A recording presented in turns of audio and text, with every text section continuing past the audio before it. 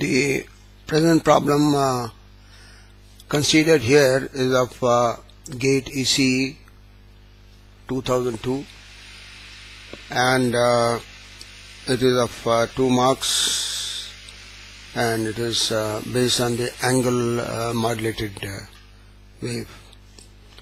So we read out the problem here. An angle modulated signal is given st cos 2 pi 2 into 10 power 60 plus 30 sine 150t plus 40 cos 150t. The maximum frequency and phase deviation of st are there are four options like first option is 10.5 kilohertz 140 pi radians etc there are four options and we have to find out uh, which is the right option here so here the angle modulated signal is given and uh, one has to find the maximum frequency and phase deviation for this uh, type of uh, problem now uh, we see the solution to this problem. Uh, what we find here is the signal st is given st cos of 2 pi 2 plus 60 plus 30 sine 150t plus 40 cos 150t. So this is the uh, expression given here but the above expression can be reduced to the standard angle modulated wave. Uh, how this could be done is uh, we'll see that uh, this uh,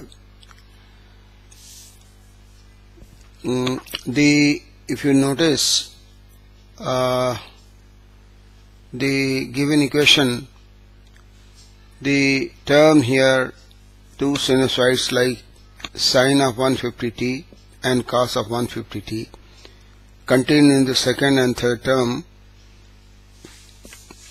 uh, they are sinusoids of the same frequency. So they can be combined to a single sinusoid. That is we can combine 2 pi see 2 pi 30 sine 150t plus 40 cos 150t I have taken 2 pi here and left this part. Only we have considered this uh, phase part here. This uh, we have put it into this form. Then uh, this could be combined by considering this to be r cos theta 40 as r sine theta so this would be if we combine this magnitude part will be r square uh, that will be a square plus b square under root and this will be sine of 150 plus theta. So this will come 2 pi into 50 is that magnitude part so it will be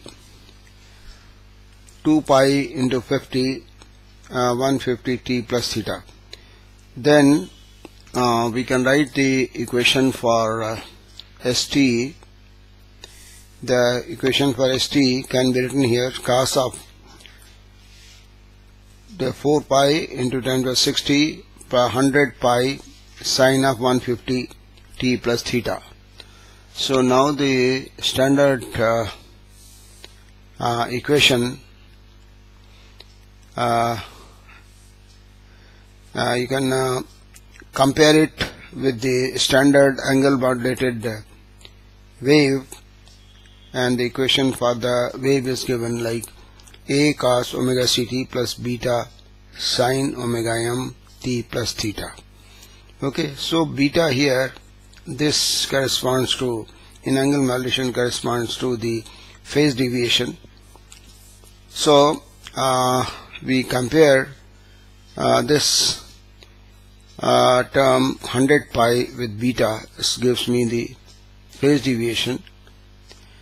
And uh,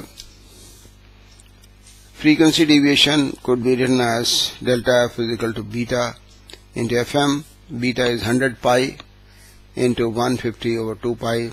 So this 7.5 kilohertz. So this is corresponding to option D here in this problem. So this is quite a simple problem but uh, uh, non-standard uh, equation for the modulated uh, wave should be converted to the standard form. Then only you can be then only you can uh, compare it and find out that what are the different uh, parameters. Thank you